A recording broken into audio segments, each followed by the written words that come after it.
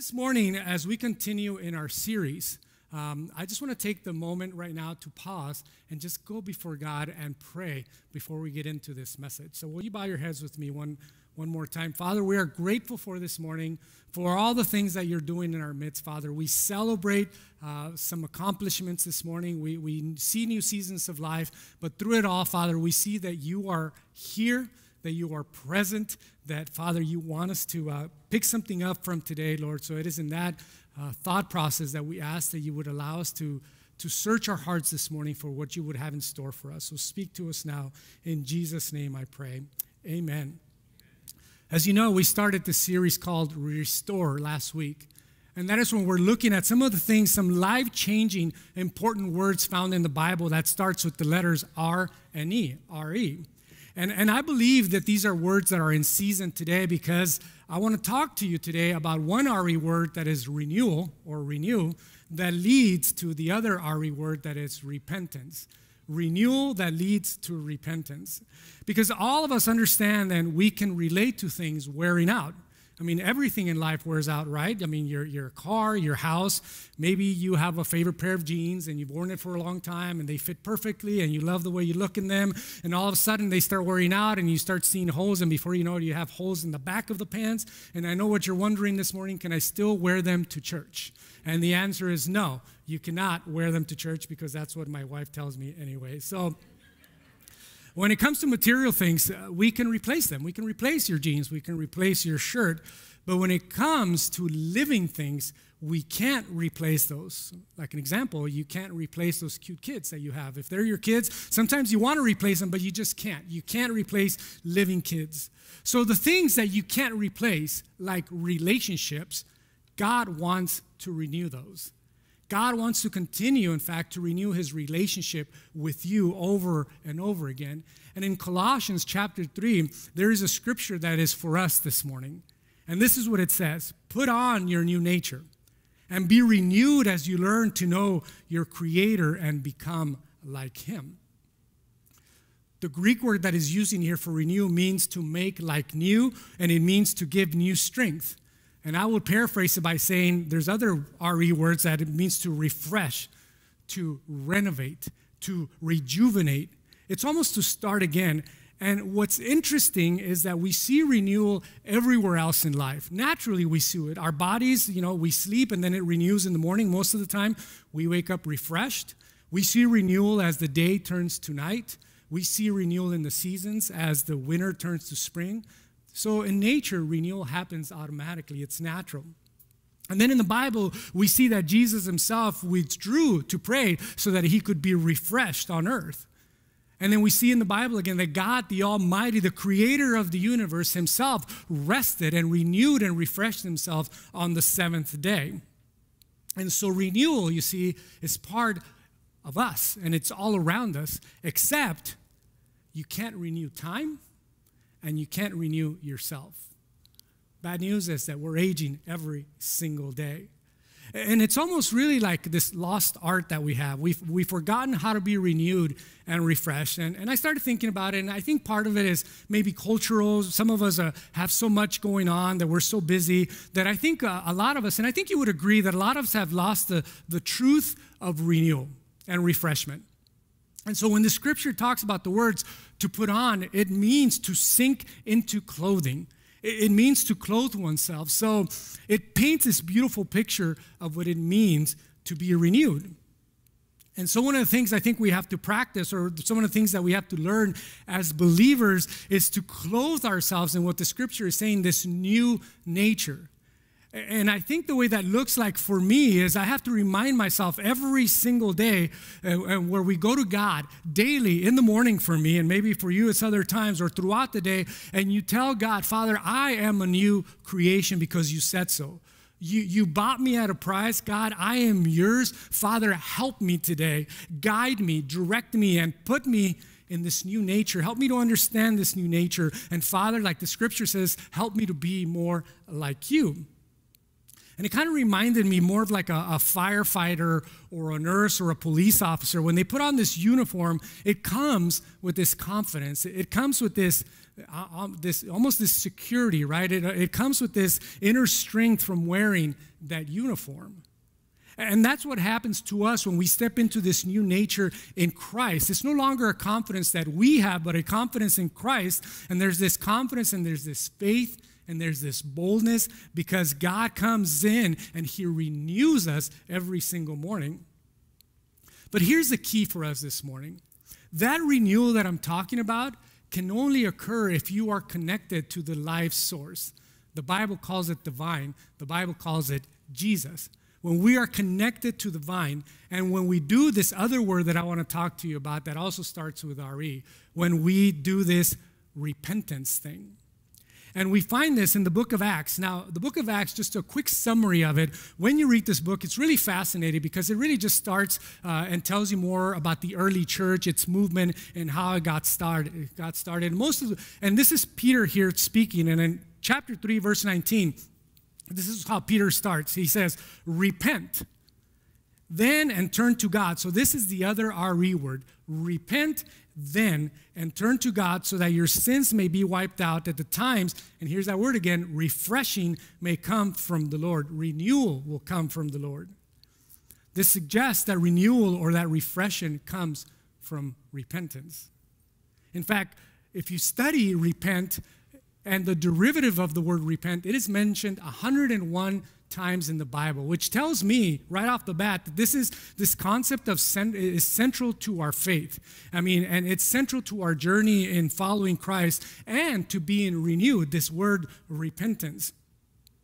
But as I think further about it, my reality, and maybe again it's your reality, is that our culture right now is really obsessed with avoiding anything that is uncomfortable anything that is remotely sorrowful or painful. And, and, the reality is, I'm there with you guys, or if maybe you don't struggle with this, but I, I want to think positive thoughts. I rather think positive thoughts because that gets me through the day than anything else, right? So just think happy thoughts. So I, I read something on, uh, someone tweeted this week that if you can dream it, you can be it.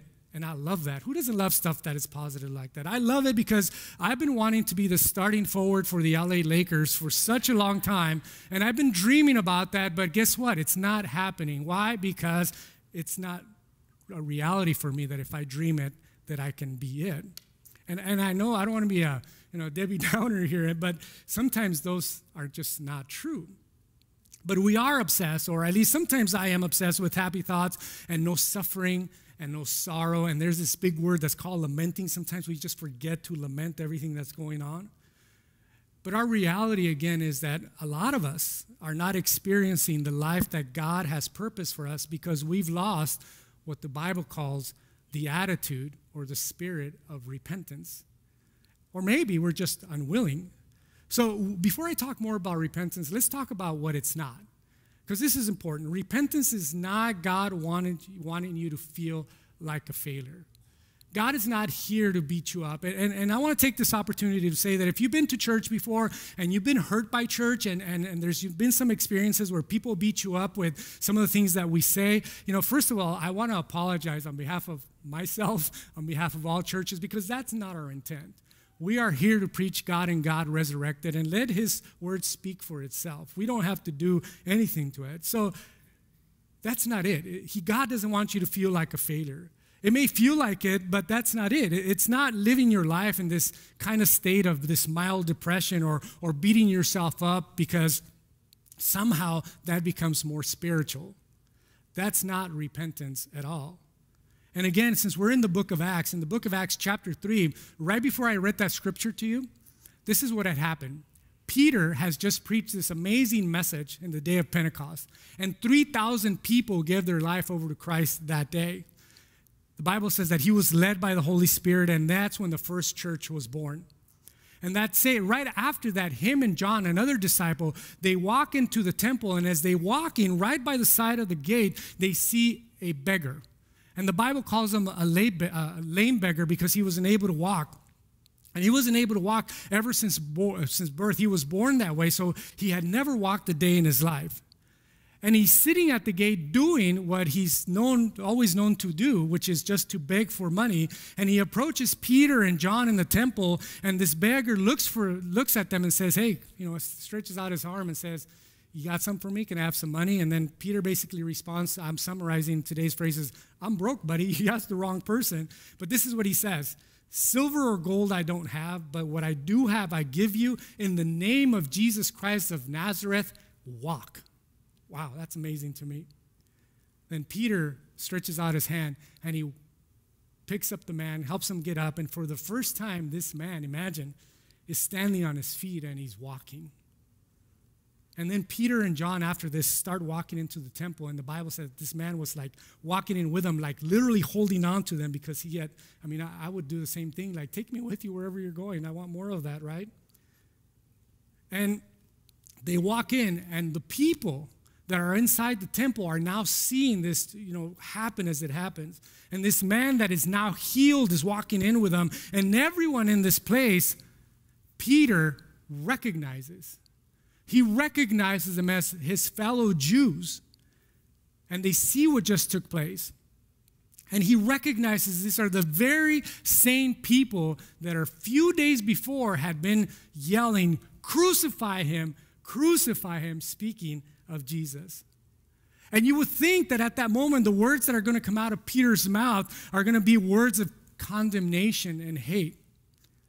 But instead, he starts to remind them of just what they did. And when he says you in the scripture, he's not just talking about one person or the Jews, he's talking about society in general, the, the people that were there, including himself. And he, he begins to say things like, It was you who asked for a murderer to be released.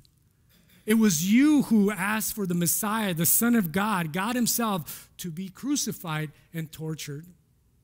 And then he says one of the most compassionate things that I think he could say at that moment. And he says that scripture that I just read to you from Acts chapter 3, verse 19. Because of that, in light of that, repent then and turn to God so that your sins may be wiped out, that the times of refreshing may come from the Lord. In light of everything that you've done, in light of what He's done for you, repent then so I don't want us to miss the power of that verse. I mean, that, that verse tells us everything this morning. Repent then and turn to God so that your sins may be washed clean, so that the times of refreshing, God wants you to be refreshed and renewed as you release that weight that you may be carrying. You know, there's many people basically listening to the sound of my voice, whether you're here or listening online, that I keep hearing, and, and I keep going back to this because it's so true that we're just tired.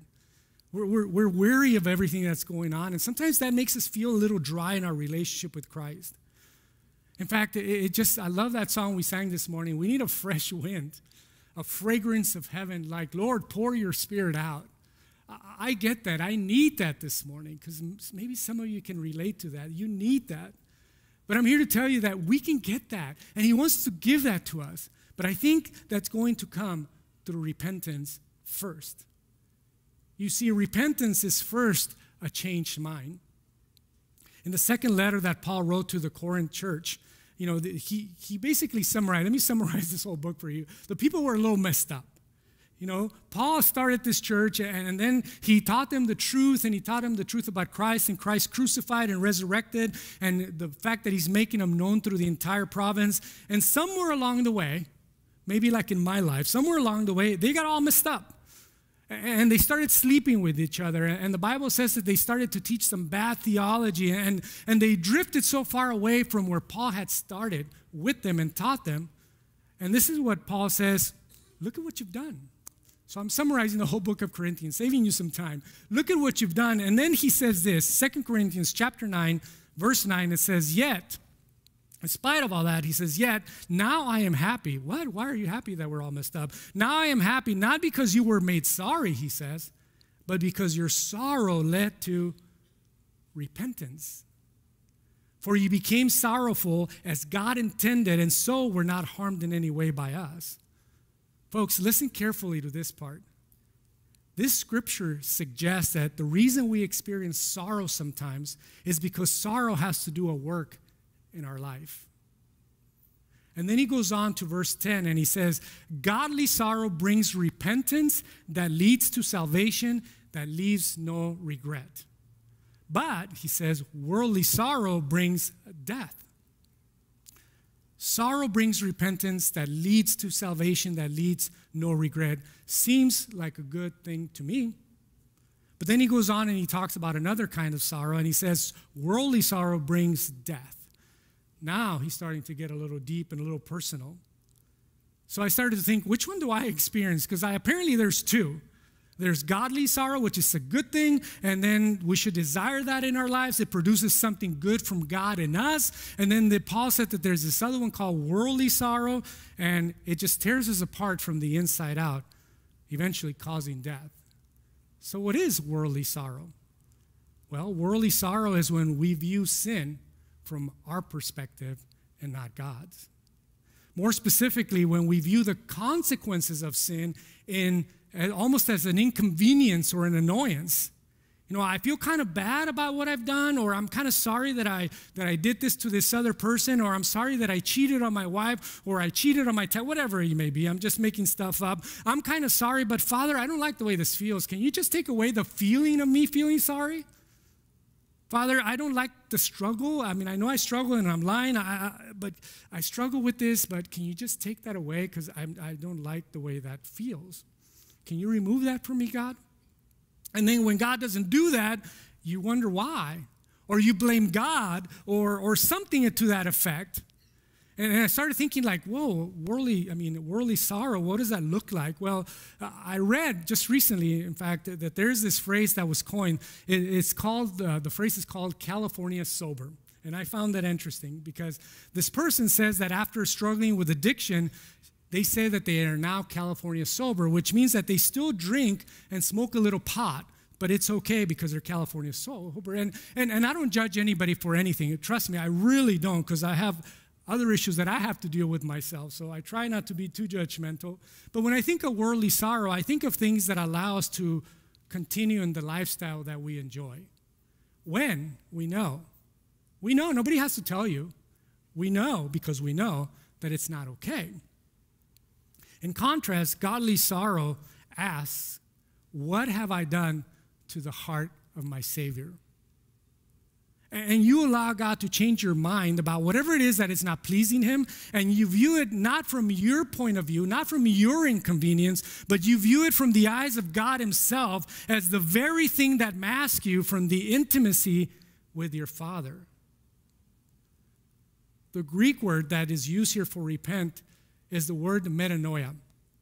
It means a change of your paradigm. It means a change of your world. It means a, a, change in your thinking. It is also a change of your behavior, and it is a change in your direction. So, the most comprehensive definition is this that repentance, or the word metanoia, is a changed mind that leads to a changed behavior.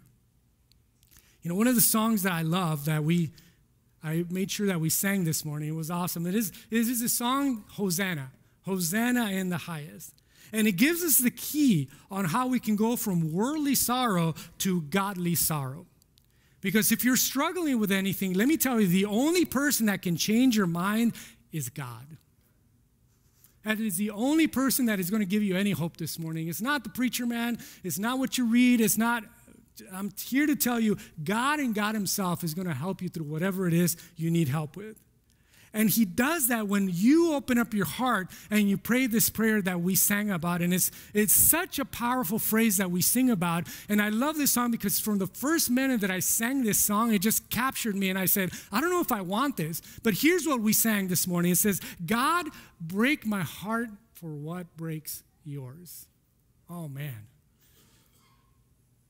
man, I, I, I need to be careful when I sing that because He will do it. God, you have access to all of this mess that I have inside. Break my heart for what breaks yours. Father, change my mind. God, help me to see my rebellion, not from my perspective and how inconvenient it is to me, but from your perspective, straight from what breaks your heart. God, break my heart for what breaks yours. God, change my mind. Repentance is also a changed direction. In fact, God speaks to the prophet Ezekiel.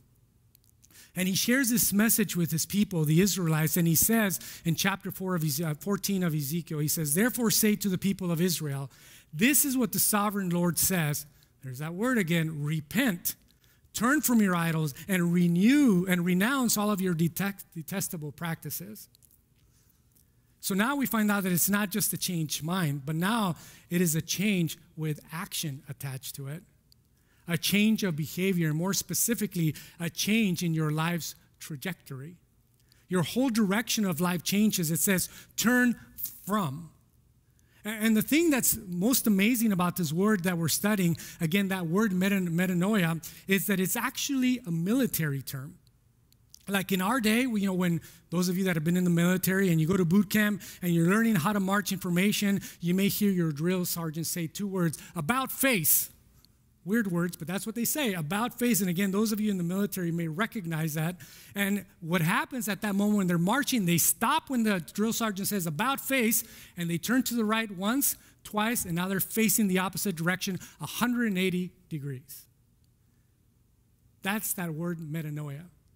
And back then, the Roman army and the Roman guard, as they would march information, they would yell out, metanoia, or repent, or about face. They didn't say that back then, but it was 180 degrees, and then you would move on. And then guess what? You never looked back. Repentance is a changed mind that leads to changed behavior. And so let me just talk practically for a moment. What does that look like in your life and my life? What does that metanoia look like? Because, folks, every single one of us has at least that one thing that we need to about face from. For me, sometimes it feels like there's 50, but I'm, I'm just going to focus on one today. Maybe you find yourself watching things on TV that you know, nobody has to tell you that you know you shouldn't be watching. So you about face, and tomorrow you're going to call the cable company or whoever you need to call, and you're going to cancel that service.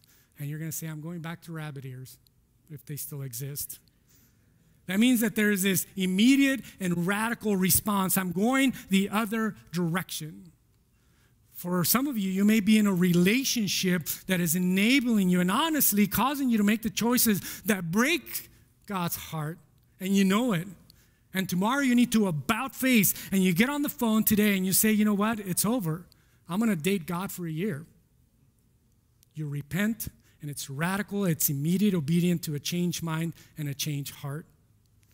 For some of you, the first step is just saying sorry and confess that sin. And maybe you're not there to be able to do that 180 because it's hard, but at least you're facing that direction. And at least you're letting God in. Maybe that's the first step. You know, in Revelation chapter 2, God is speaking again through, through John and to the churches. And God has this message to this church called Ephesus. And He's telling them, you know what? You guys are doing great. You're a great church. And then He says this Yet I hold this against you. You have forsaken the love you had at first. Consider how far you have fallen. Repent and do the things you did at first. You know, when you fall in love with someone, you do a bunch of stuff to, to help each other fall in love with each other. And somewhere along the way, we forget to do those things again. And he's reminding us hey, you fell in love with me, God, your Savior, your Creator.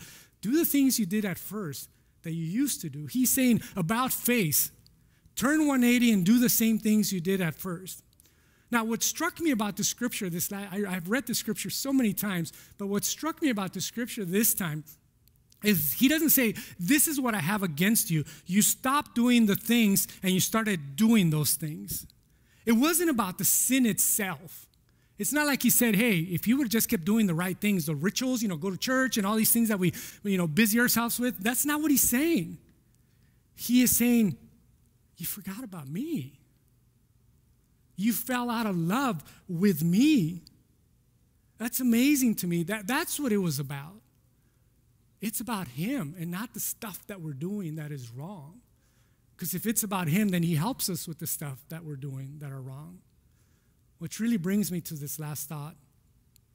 And this is what this, this is all about that repentance is a changed mind that leads to a changed direction. But the most important part, at least to me in my heart, is that repentance restores relationships. Because it's all about relationships. The cross is all about a relationship. In fact, one of the most amazing stories in the Bible paints a story of a father and son relationship, and it summarizes everything that we've been talking about today. And I pray that as I say this story, that you would find yourself in this story because we're all the son. And there's this message that God wants you to hear and wants you to know. So here's a story. The son comes to the father and says, Hey, by the way, I demand my inheritance, my share of your estate. Even though you're not dead yet, give it to me now. And all of a sudden, I start seeing this from a dad perspective. I'm saying, man, this kid sounds pretty entitled to me. But here's what the father does he loves him so much that he gives him his share. And then the son starts down the road to destruction. And the Bible, in my paraphrase, pretty much says that the son goes buck wild. He takes the money and he get himself a bunch of friends and he starts going to the nightclubs and to the bars and he's getting his buzz on and hooking up with the ladies and my paraphrase. And then the Bible says that he's spending all of his time and all of his money and all of his life is found in this nonstop party. Maybe some of you know somebody like that.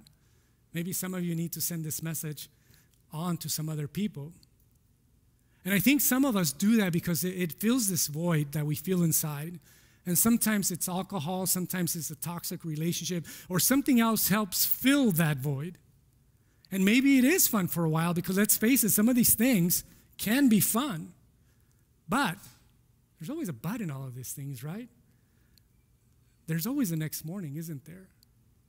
When you feel emptier than you felt in the first place because of the stuff that you did. I mean, why else would we have terms like walk of shame? Which, by the way, is not really that shameful anymore because they're, it's more widely accepted today. Another example of worldly sorrow. And so the money runs out in the story, and when the money runs out, the friends run out. And the Bible said that the son finds himself literally face down, sleeping, passed out in a pig pen. And then in Luke chapter 15, verse 17, we see this process that begins. And Scripture says that when he came to his senses, he said, How many of my father's hired servants have food to spare, and I'm here and I am starving to death? He knew what he had with the father, and yet he's over here messing with the pigs. I mean, what do we see here? The first thing we see here is that he has a changed mind. Something changed in him. When he came to his senses, when he got to this point of saying, What have I done? And then he goes on to this debate that he has in his mind, right? That a lot of us do. Do I go home? Do I not go home? Is my father going to accept me? What is he going to say to me? I mean, I know my father loves me. My father worked his whole life so that I can have what I have. And then all I did was squander it. So he's feeling this guilt. He's feeling this shame. But then the Bible says that he made the choice. Verse 20, it says, there's the action. So he got up and he went to his father. In spite of everything he was feeling, the whole debate that he was going through in his head, he got up and he took that step towards his father. We see that he had a changed mind that leads him to getting up. And I think some of us are living right here at this morning, moment. That God's breaking your heart, but what's next? The Bible says that the son began his journey back home. And he keeps rehearsing in his mind what's about to happen. I mean, imagine that same rehearsal that he's going through in this guy's mind. What is he going to say to the father? What is the father going to say to him? Is he going to accept him or he's going to kick him out? And I suspect that he had written off the father after accepting him as his son, right? Because he probably felt that that ship had sailed. He hurt him so much that he probably thought that was over. I mean, why would he think otherwise? Because we're, we're human beings, that's why. We think that way is because I think as parents, some of you guys uh, would agree, we've most of us, I have said something to my kids to the extent of like, hey, go to your room right now. I don't even want to talk to you. Or have you ever said this, you know, I can't even look at you right now. Depart from my presence. Not in those so many words, but something like that. Why would the son think that the father wanted anything to do with him? He had hurt him so greatly. The good news for us today is that God is much bigger than we are and his ways are higher than our ways. And, and, here's what you have to hear. As the son went home, the Bible says that one of the most unbelievable phrases in all the scripture, it says, by while he was still a long way off, his father saw him.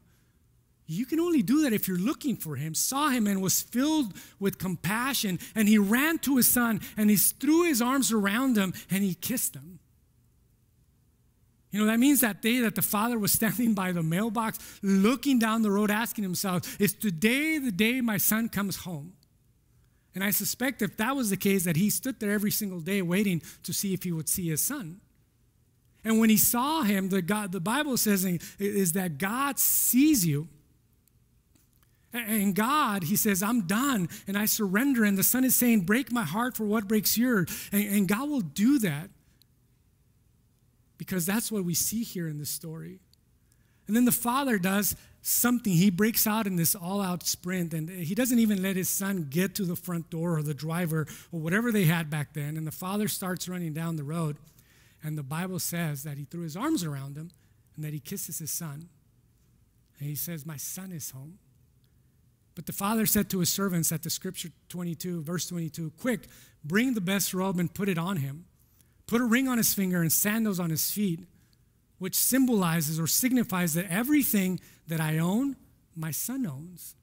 He is an heir. Put a robe around him that says that he is not a slave and he will never be, and that he is royalty, that he is family, that he is my son, and we are going to celebrate because what was lost is now found. Here's a point the Father doesn't chastise you, the Father, our Heavenly Father, is just there waiting with His open arms, waiting to hug you and kiss you no matter what you've done. As I think of what this son did, it, it, that's pretty bad. It doesn't get worse than that. You think you're a million miles from God, and how could He want anything to do with you? Well, this story isn't about a fictitious son and a fictitious father. This story is about me and my father. This story is about you and your father. Because God wants you to know that the moment you give up and you turn to Him, He wants you to know that what His response will be. You don't have to guess, it's right here. He's waiting with open arms. He accepts you. He forgives you, He loves you, and then He renews you and He refreshes you. Perhaps today is that day for you that you renew your faith, and it starts with repentance. Will you pray with me? Father, I just pray this morning for every single person listening to this message right now. Lord, not just my words, Father, but for those that are listening, I pray that your Holy Spirit would just speak to their hearts. And for those that don't know what that looks like, Father, I just pray that they would say, Father, speak to me now. Lord, and I pray that you would allow us to be immediately obedient and do to what you're calling us to do in this moment. And it looks different all, from all of us, Father, for all of us. And I know that some of you feel miles away from God right now, Lord. And, and, I know that they're having a difficult time, Lord. And I just pray that you would just come to them and ever so lovingly, ever so gently, just tell them that you are there, that you love them, that you have never left them nor forsaken. And Lord, that you are there waiting for them with open arms. And for those of you who are followers of Christ and already know God and feel God is calling you to repentance in another way, God is calling you to take some radical and immediate action to literally do about face 180 degree turn to go into the higher things. I just pray that you would say to your God right now, Father, change my mind. And there's some of you here today just need to say, God, break my heart for what breaks your, yours. And we know that He will. And some of you are profoundly aware of the things and the areas that are rebellious. And perhaps you're in this moment where you're living in worldly sorrow and it stops right now and you say to God, Father, I repent. I repent, Father. I turn from my ways and I turn to you. Break my heart for what breaks your Father and help me to do that about face, to do that 180 turn in direction. Lord, I pray that right now, as you're speaking to your people, Father, that you would be ever so real and so present in their hearts. Lord, if this message is not for me, but if this message is from you, Lord, that you would make it known and that you would give people the courage, the strength, and the perseverance, Father, to seek you first and foremost.